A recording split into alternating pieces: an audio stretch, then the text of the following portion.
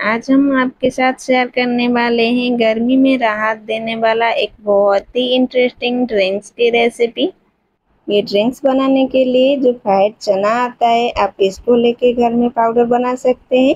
नहीं तो इस तरह से एक पैकेट में पाउडर आता है चना का, उसको भी ले सकते हैं। अब एक बाउल लेंगे, अब उसमें एक गिलास पानी डालेंगे।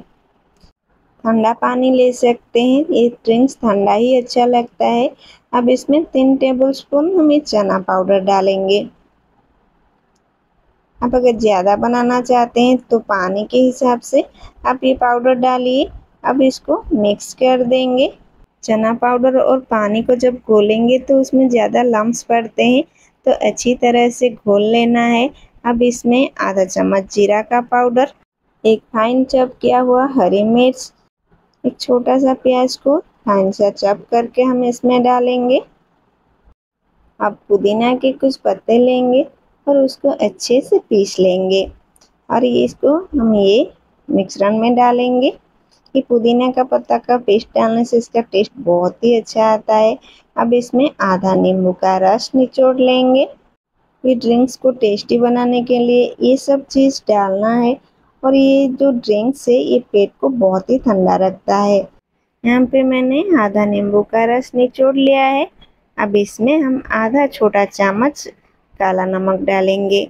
इसमें काला नमक ही अच्छा लगता है। अब इसमें कटा हुआ धनिया पत्ता डालेंगे और इसको अच्छे से मिक्स कर देंगे। इसके बाद और कुछ भी डालना नहीं है। अब इसको अच्छे से मिक्स कर देंगे। अब हमारा ड्रिंक्स बन के तैयार है। और आप सबको मेरे एक छोटी सी रिक्वेस्ट है। अगर आपको मेरी रेसिपी अच्छा लगे तो लाइक कर दीजिएगा और मेरे चैनल को भी सब्सक्राइब कर लीजिएगा। अब एक ग्लास लेंगे, उसमें आइस क्यूब्स डालेंगे। अब ये मिक्सरन को अच्छे से घोल के ग्लास में डालेंगे। ये ड्रिंक्स ठंडा ठंडा ही बहुत ही अच्छा लगता है। पीने में, गर्मियों के दिनों में अगर ठंडा पीना है तो आप इसे पी सकते हैं। इसे ड्रिंक्स नहीं, ये पेट भी भरता है।